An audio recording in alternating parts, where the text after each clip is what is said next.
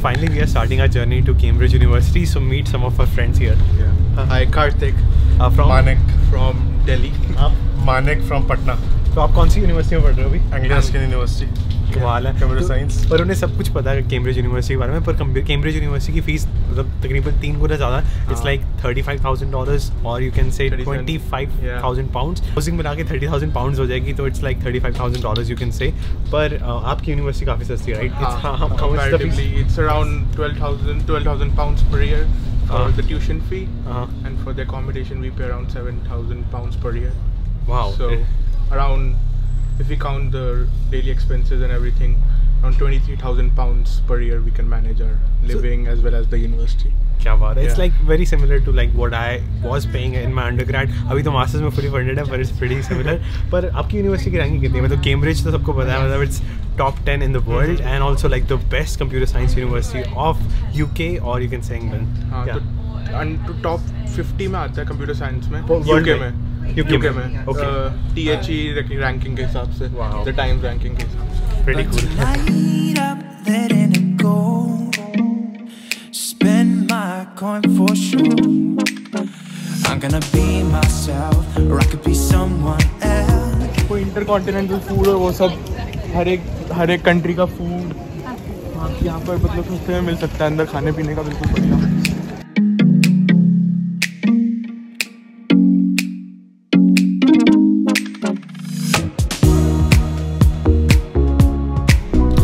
now we are going to the river camp for a tour तो आप बताना कि इस यूनिवर्सिटी को साइकिल सिटी क्यों कहते हैं? इस पूरे कैम्ब्रिज को ही पूरा साइकिल सिटी कहते हैं, क्योंकि यहाँ पर आधे से ज़्यादा लोग साइकिल ही चलाते हैं। और लोग मतलब ऐसा कहना है यहाँ पर कि गाड़ियाँ चोरी हो जाएँगी आप गाड़ियाँ चोरी नहीं होंगी मोबाइल भी चोरी नहीं होंगे बंदे का कुछ भी चोरी नहीं होगा साइकिल चोरी हो जाएगी। ये साइकिल बहुत इंपॉर्टेंट है यहाँ पे सर्वाइव करने के लिए। हाँ। So behind me is the punting place और यहाँ पे जो पोल्यूशन का इंडेक्स है वन से नीचे वन से ऊपर ही नहीं जाता। हाँ वन से ऊपर ही नहीं जाता क्योंकि यहाँ पे मतलब पोल्यूशन होने का कारण ही नहीं है क्योंकि यहाँ पे कार्स नहीं है या फैक्ट्रीज नहीं है तो बहुत कूल जगह है। डायरेक्टर्स यूनिवर्सिटी के डायरेक्टर्स बड़े बड़े डायरेक्टर्स वो भी अपनी साइकिल पे ही ट्रैवल करते हैं अपने घर से यहाँ तक। कोई किसी को ऐसा कोई वो नहीं है। अपने अंदर की गाड़ी से आना है। किसी को वो नहीं है ऐसा यहाँ पर। और वैसे सबसे ज़्यादा मुझे कन्फ्यूज़न हुई थी मैं यूएस के सिस्टम में राइट चलने की आदत हो गई थी राइट ड्राइव करने की आदत हो गई थी। अब फिर जाके लेफ़्ट में कन्वर्ट हो रहा हूँ। वो इंडिया जाऊँगा फिर लेफ़्ट में ही होगा। हाँ। यहाँ राइट हैंड ड्राइव है एक साल से मतलब यूएस से बाहर नहीं गया ना इस कारण।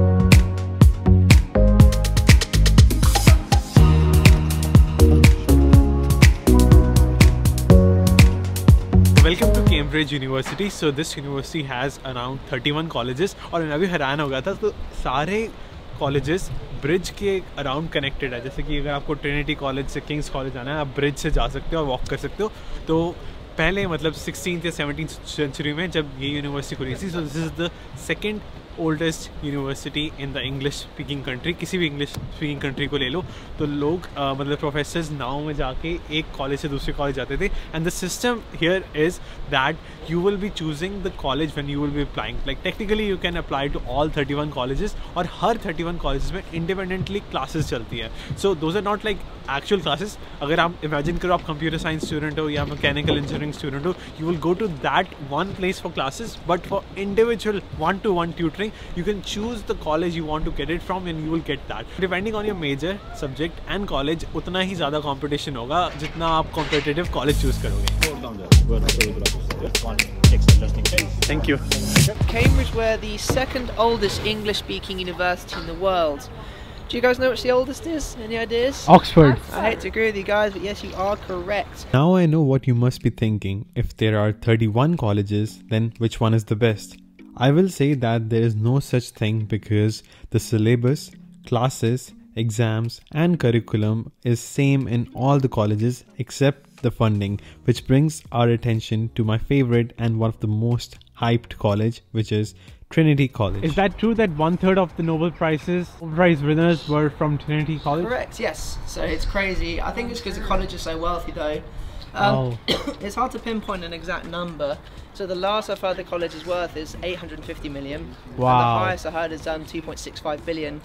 And the number I hear the most about 1.4 billion pounds, which is an astronomical amount of money. So they generally do have the third of Cambridge Nobel prizes, which is actually more than Oxford has in total. This makes Trinity College one of the most difficult college to get into as some of the great mathematicians and physicists like Isaac Newton and Stephen Hawking were also graduate from this college.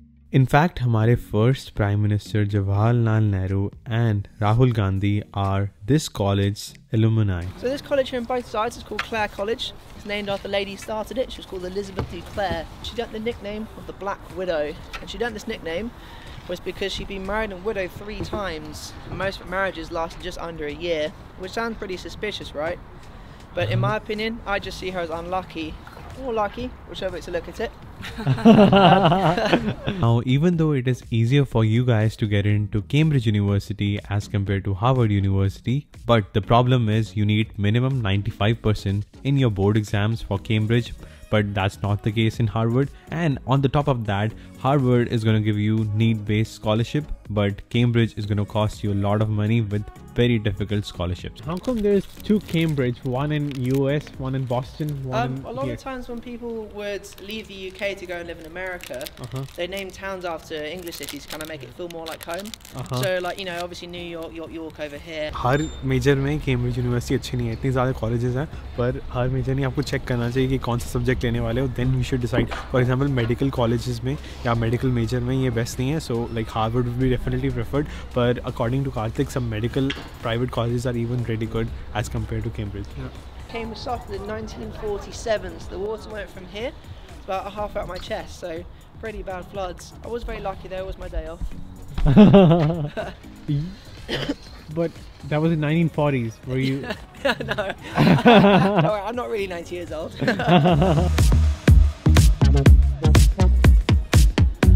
Atlanta की zero degree से Cambridge की seven degree Celsius में आया पर यहाँ पे ज़्यादा feel हो रहा है बिकॉज़ ऑफ़ दिस रिवर तो हवा सीधा मुँह में बढ़ रही है।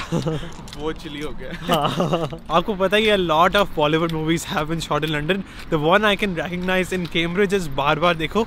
It was in a blockbuster but I have movie almost every college in Cambridge University has its own library and there are total hundred plus libraries but most of them were close due to semester break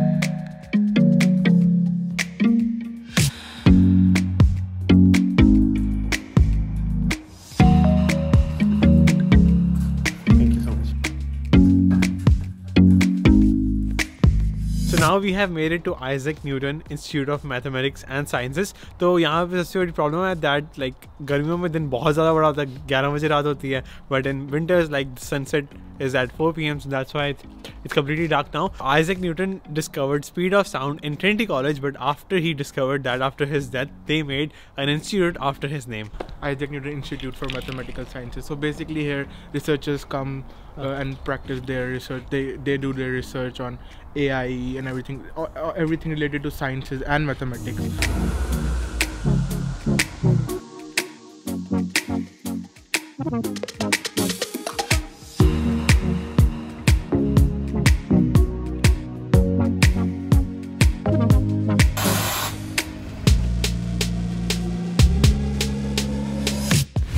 यहाँ पे मतलब distance बहुत ज़्यादा कम रख रहे हैं just like in India क्योंकि US की मुझे याद आता है कैनेडा में भी distance is like one car दोनों बसेस या कार में रखते ही हैं पर यहाँ पे बहुत ज़्यादा कम है जिस हिसाब से ये लोग मतलब मोड़ते हैं बस को और एकदम इतनी परफेक्टली छोटे क्योंकि यहाँ पर अगर आप रोड देखो बहुत नैरो है हाँ। तो जब ये मोड़ते हैं अंदर या बाहर जैसे भी तो बिल्कुल परफेक्ट होता है और क्या मतलब क्या सोचते हैं मेरे को मेरे को मैं सोचता हूँ कि पक्का रिग्रेस होती होगी ट्रेनिंग मेरे को लगता है हाँ वही इतना स्टीप टर्न तो मैंने मतलब पंजाब पंजाब रोडवेज़ की बस में। वहाँ में नहीं देखा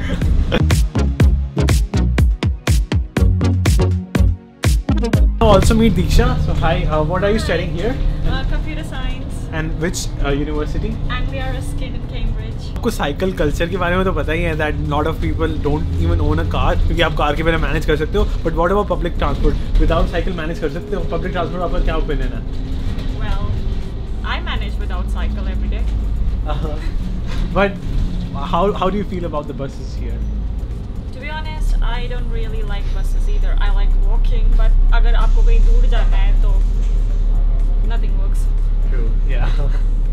आपका मेरा इसमें आई प्रेफर साइकिलिंग पर पब्लिक ट्रांसपोर्ट का हाल है? आपको मतलब are you जैसे हमने डे पास यहाँ पे खरीदा हाँ। फोर पॉइंट फाइव पाउंड्स का डे पास है आप कैम्ब्रिज में पूरे दिन भर कहीं पर भी ट्रैवल कर सकते हो। हाँ। और असली में वीकडेज में ठीक रहता है तब भी।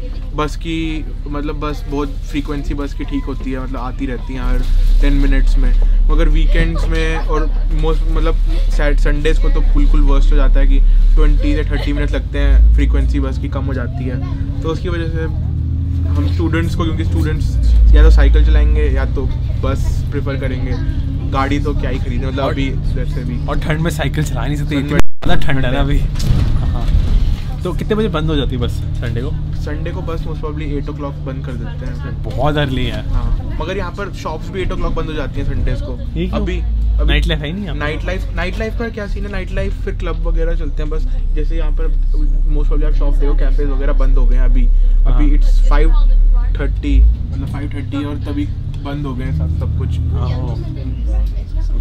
और डिनर फिर सात बजे बंदा कर लेगा डिनर सात सात बजे कर लेते हैं यहाँ पर मतलब ब्रिटिश लोग यहाँ पर वैसे भी सात बजे ही प्रेफर करते हैं सुबह हाँ। Breakfast early morning breakfast British tea.